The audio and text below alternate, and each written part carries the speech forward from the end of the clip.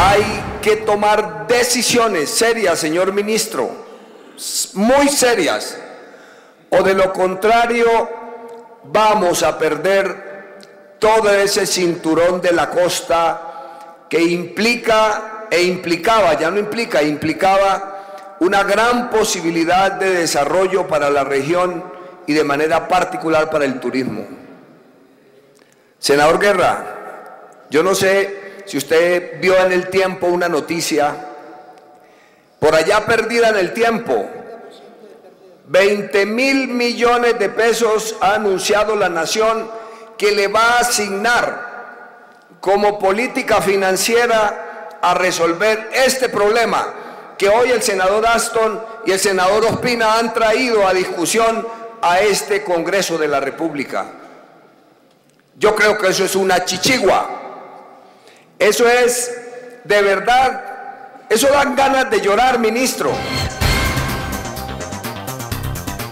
Y es que el cambio climático incide y por eso era tan importante la presencia aquí de varios ministros en el tema de la infraestructura.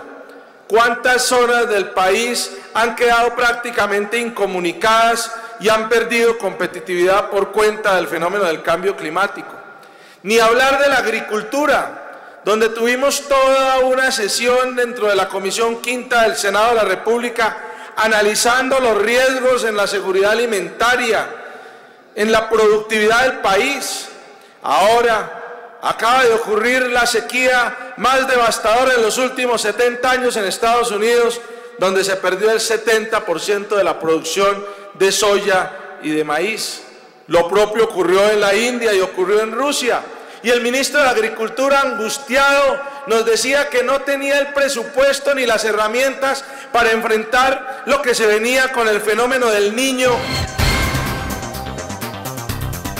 Y por eso nosotros queremos impulsar y invitar, invitar a los colombianos al Instituto Geográfico Agustín Coasi que el mapa de Colombia debe resaltar realmente lo que es nuestra Colombia. En la siguiente diapositiva es lo que mi concepto todos los colombianos debemos tener en cuenta lo que significa nuestro territorio colombiano. Ese, en mi concepto, es nuestra Colombia.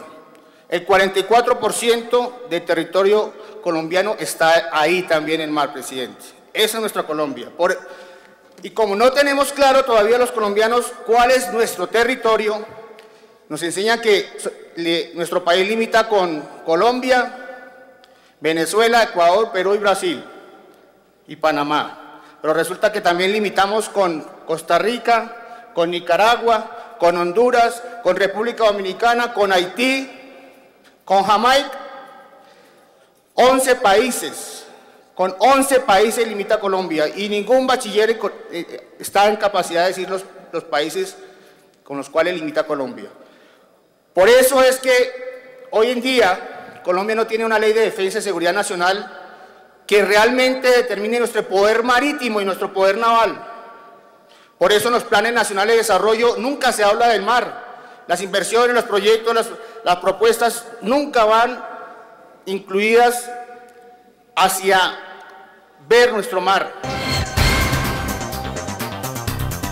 Hace falta que enfrentemos una decisión política y una construcción de una voluntad institucional para nuestros descendientes inmediatos.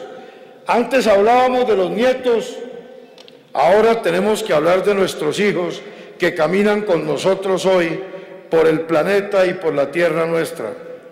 Pero aquí hace falta una voluntad política para crear una entidad especializada de políticas específicas para el mar y los ríos pero aquí cada vez que el Parlamento habla de crear una entidad o un ministerio, vergonzoso que en este tiempo, en este país de dos océanos y tantos ríos, a diferencia de otros que tienen pedacitos de playas y muy pocos ríos, no exista una entidad del grado político mayor como es un ministerio al frente de esta temática.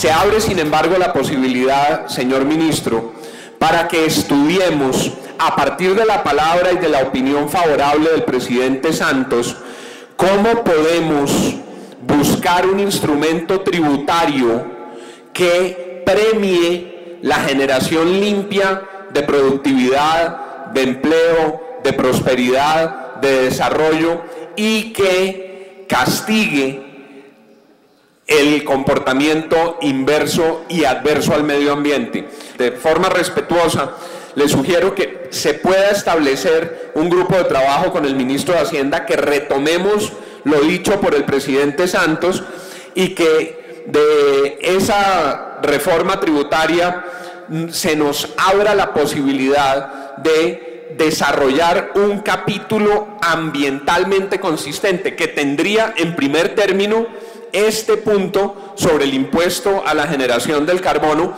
pero que debe estar acompañado de otros tributos o de otros instrumentos tributarios que faciliten el acceso a un mejor país.